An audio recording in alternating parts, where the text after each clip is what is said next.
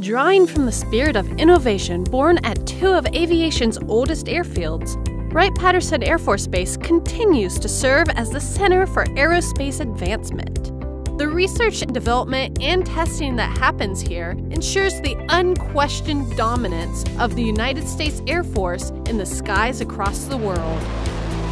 Located near Dayton, Ohio, the base is the largest single site employer in the state, generating a regional impact of more than $4 billion per year. Wright Pat's highly specialized workforce of more than 27,000 military, civilian, and contractor employees provide vital support to ensure airmen and joint warfighters have modernized systems needed to fly, fight, and win in air, space, and cyberspace. The base is the home of the Air Force Materiel Command Headquarters.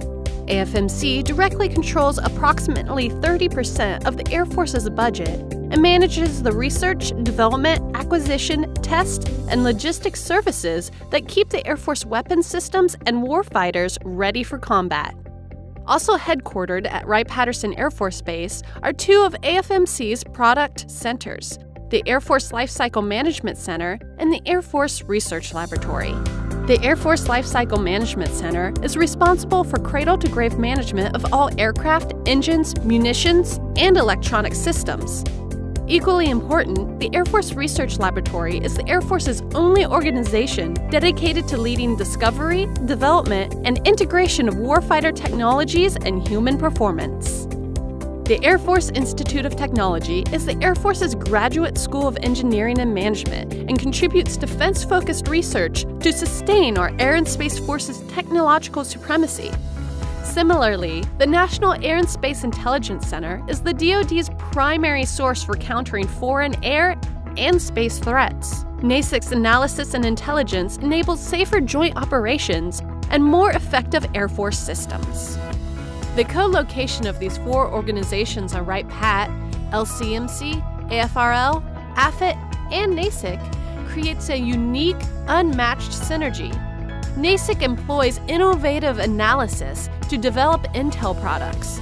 AFRL develops the technologies, LCMC acquires, fields, and sustains those technologies, and AFIT develops airmen to enable those three missions.